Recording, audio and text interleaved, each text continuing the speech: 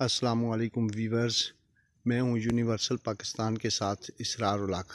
आज मैं आपको समली डैम का व्यू बताने जा रहा हूँ। ये वो समली डैम है जहाँ से पूरे इस्लामाबाद को पानी सप्लाई होता है।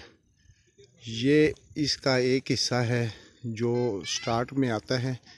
ये डैम वैसे इन पहाड़ों के दरमियान फैला हुआ है। ये काफ़ी आगे जाके कर्व हैं इसमें। और ये कभी इस साइड मोड़ जाता है, राइट साइड पे और फिर लेफ़्ट साइड पे मोड़ जाता है। ये इन खूबसूरत पहाड़ों के दरमियान वाक़ है। ये इसकी ग्रीनरी साइडों की जो है, चूँकि आजकल तो ये फेबरवरी का महीना है, इसके एंड पे मैं आया हूँ। यहाँ पे पानी भी इस वक्त थोड़ा कम है यहाँ पे, लेकिन ये तकरीबन जुलाई अगस्त में ना ये डैम तकरीबन पानी से भरा होता है। ये जो सामने दरख्तों के नीचे आपको जगह नज़र आ रही हैं। ये ये पानी से भर जाती हैं। और इसकी ग्रीनरी भी काफ़ी अच्छी होती है उस वक्त। और इसका पानी का रंग भी काफ़ी अच्छा होता है। सब्ज़ी माइल रंग होता है और इसके अंदर आसमान का अक्स भी नज़र आता है। इस वक्त चूँकि पानी कम है, ये आप देखें कि ये जो पत्थर नज़र आ रहे हैं इन पत्थरों तक ये गर्मियों में पानी यहाँ तक मौजूद होता है। तो डैम के इर्द गिर्द, थोड़ी इसमें गंदगी वगैरह है, शापर वगैरह, ये चीज़ें जो है ना, चूँकि ये पानी, बारिशी पानी है, ये ऊपर से बारिशों की वजह से इस इलाके में आता है। इस डैम का जो मरकज़ी रास्ता है, वो दूसरी तरफ़ से है।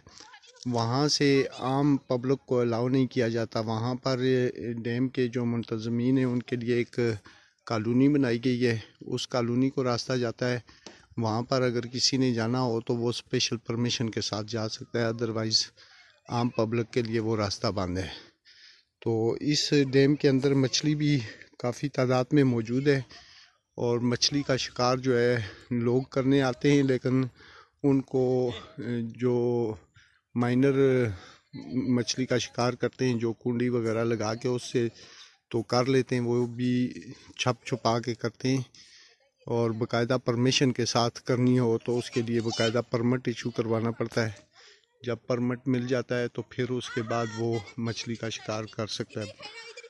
तो कुछ फैमिलीज़ भी आती हैं, लेकिन चूँकि फैमिलीज़ के लिए ये साइड इतनी अट्रैक्टिव नहीं है, यहाँ पे कोई सहूलत वगैरह नहीं है खाने पीने क्या कोई होटल नहीं है, कोई चाय खाना नहीं है, किसी किस्म की नहीं है, थोड़ी बहुत जो फैमिलीज़ आती हैं वो अपने बंदोबस्त के साथ आती हैं और वो यहाँ पर थोड़ा टाइम गुजार के फिर उसके बाद वो चले जाते हैं। तो ये व्यू जो नज़र आ रहा है आपको, इसमें बिल्कुल सामने जब आपको मैं थोड़ा जूम करके दिखाना चाहता हूँ, ये ऊपर एक आबादी आपको नज़र आ रही है, दूर पहाड़ के ऊपर। इस आबादी के नीचे तक जो है ये डैम फैला हुआ है। और ये डैम सिर्फ़ इस पर्पज़ के लिए बनाया गया था कि यहाँ से इस्लामाबाद को पानी प्रोवाइड किया जाएगा पीने का। इसके आगे जो है ना फ़िल्टर प्लांट लगे हुए हैं जो पुलिस कॉलेज है दूसरी तरफ़। उसके सामने फ़िल्टर प्लांट है, वहाँ पे ये पानी फ़िल्टर होता है और उसके बाद रोज़ाना की बुनियाद पर इस्लामाबाद के शहरीों को पीने के लिए पानी प्रोवाइड किया जाता है। एक परिंदा है जो मछली को शिकार करने के लिए इस डैम की सतह के ऊपर घूम रहा है। ये वाइट कलर का परिंदा है। ये मछली का बहुत शौकीन होता है। और यहाँ पर डैम के आपको किनारों के ऊपर देखिए गंदगी बहुत नज़र आ रही है। ये जो बारिश के पानी के साथ जो है ना, मुख्तलिफ़ नालों से होती हुई बोतलें, शापर और भी बहुत किस्म का सामान इसमें आता है जो इस डैम के अंदर होता है इसकी। सफ़ाई जो है ना, हुकूमत ने अभी तक मेरा नहीं ख्याल कि जब से ये डैम बना है, इसको साफ़ किया होगा कभी। तो इसका पानी भी जो है ना, उसका रंग भी इस वक्त गदला है अच्छा नहीं है। और इसको पीने के काबिल तो तब भी बनाया जा सकता है जब ये सही मानों में फ़िल्टर किया जाए। ये शूज़ नज़र आ रहे हैं जो इस पानी के अंदर आए हैं।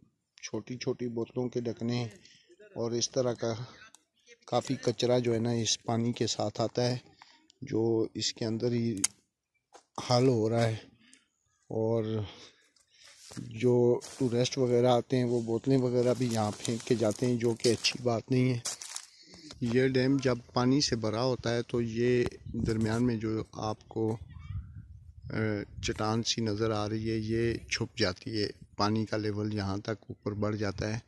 और इस साइड पर ये जो पत्थर नज़र आ रहे हैं ऊपर, दरख्तों से नीचे नीचे यहाँ तक सारा पानी से भरा होता है ये।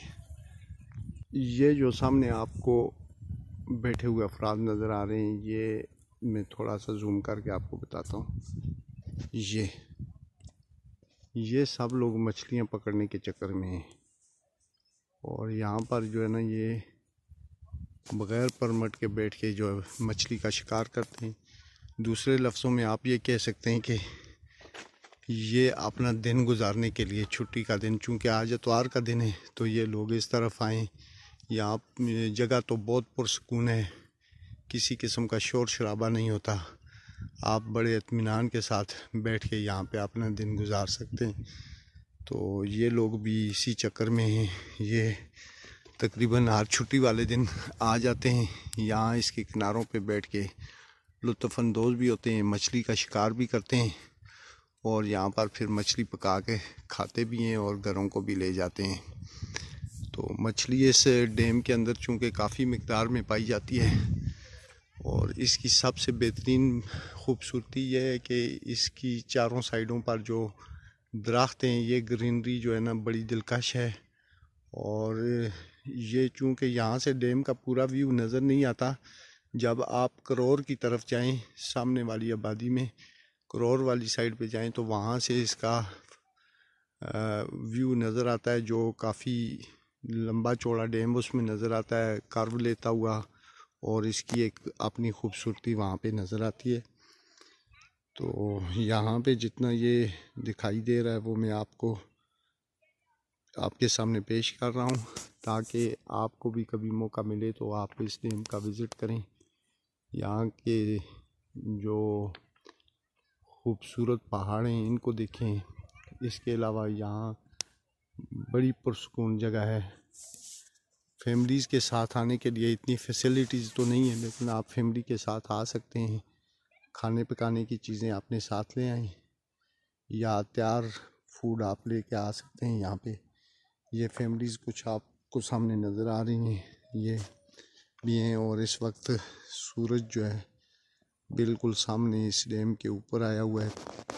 ये तकरीबन ढाई बजे, तीन बजे का टाइम है। इस वक्त जो है ना सूरज मगरब की तरफ़ सफ़र करता हुआ जा रहा होता है और ये डैम के ऊपर अपनी शाइनिंग बिखेर रहा होता है। लकड़ी का एक डंडा लगाया हुआ है। ये फ़िशिंग करने वाले लोग जो है ना इसको इस्तेमाल करते हैं। चूँकि ये एक ऐसी जगह है जहाँ पर मछली के लिए पानी गहरा है और यहाँ पर मछली के ज़्यादा इम्कान होते हैं, इसलिए शिकारी ना ऐसी जगहों पे बैठकर शिकार करने को पसंद करते हैं, ताकि मछली भी ऐसी जगहों पे अट्रैक्ट करती है और वो आती है।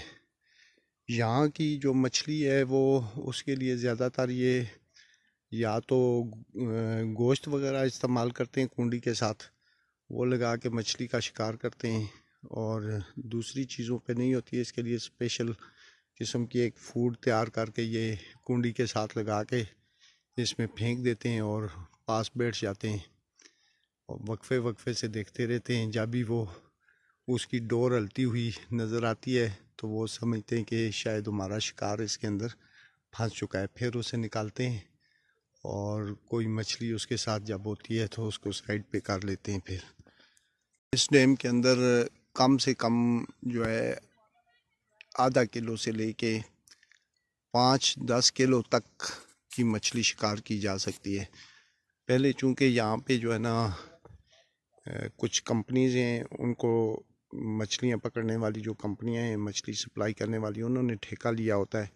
वो पट्टी का भी इस्तेमाल करते हैं, लेकिन इन दिनों में चूँकि ये मौसम उस तरह का नहीं है, इसलिए कोई कंपनी के लोग नज़र नहीं आ रहे जो प्रॉपर शिकार करते हैं, पट्टी लगाते हैं, या इसके अंदर कोई कश्ती भी आपको नज़र नहीं आ रही। और वैसे तो यहाँ पे बोटिंग नहीं होती है, सिर्फ़ शिकारी लोग जो है ना वो बोटिंग करते हैं पट्टी लगाने के लिए। इस डैम का जो पानी का सोर्स है वो सिर्फ़ बारिश का पानी है। इसके अलावा जब मरी और इसके इर्द गिर्द के जो इलाके हैं, जैसे कोटली, सतियाँ, करोर का इलाका है इन इलाकों में बर्फ़बारी होती है। क्योंकि पिछले दिनों काफ़ी बर्फ़बारी हुई है इन इलाकों में और बर्फ़ के बाद जब वो बर्फ़ पिघलती है तो उसका पानी जो है ना इस डैम की तरफ़ आता है और यहाँ पे जमा होता रहता है। जब ये पानी काफ़ी मकदार में जमा हो जाता है तो इसको रोज़ाना इस्लामाबाद की जो रिक्वायरमेंट होती है, इस्लामाबाद सिटी की, उसके मुताबिक इसको फ़िल्टर प्लांट तक लेके जाते हैं और फिर वहाँ फ़िल्टर प्लांट के ऊपर ये पानी फ़िल्टर होता है और उसके बाद जो ज़रूरत का पानी होता है, वो पीने के लिए और इस्तेमाल करने के लिए इस्लामाबाद के शहर को सप्लाई किया जाता है। इसके अलावा एक इस्लामाबाद में दूसरा डैम भी है, वो रावल डैम है, वहाँ से भी पानी सप्लाई होता है और रावल डैम का पानी ज़्यादातर जो है मरी और सॉरी, रावलपिंडी शहर के लिए इस्तेमाल होता है, वहाँ पे जाता है और समरी डैम का पानी इस्लामाबाद सिटी को प्रोवाइड किया जाता है।